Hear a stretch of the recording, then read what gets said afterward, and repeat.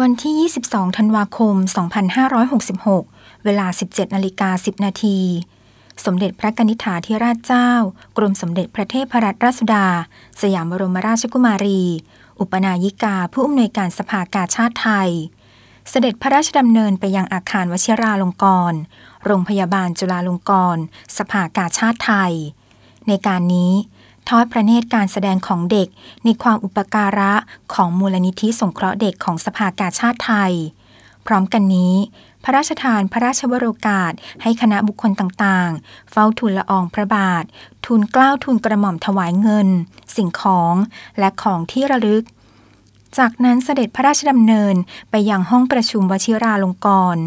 ทรงเป็นประธานการประชุม คณะกรรมการอำนวยการ มูลนิธิสงเคราะห์เด็กของสภากาชาติไทย ประจำปี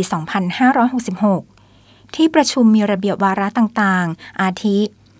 โครงการแว่นตาผู้สูงวัย ในสมเด็จพระเทพรัตน์การดำเนินงานด้านการดูแลเด็ก และสวัสดิภาพเด็กของหมู่บ้านเด็ก และหมู่บ้านเด็กเฉลิมพระเกียรติ จังหวัดนครปฐม การดำเนินงานของศูนย์สาธิตฝึกอาชีพ เศรษฐกิจพอเพียง จังหวัดสงขลา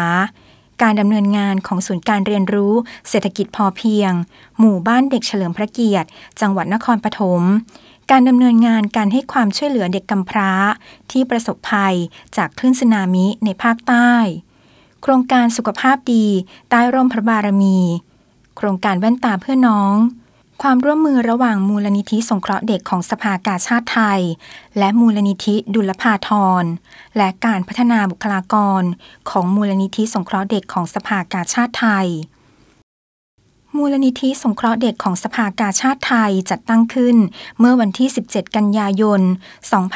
2524โดยพระราชดำริของสมเด็จพระกนิษฐาธิราชเจ้า กรมสมเด็จพระเทพรัตนราชสุดา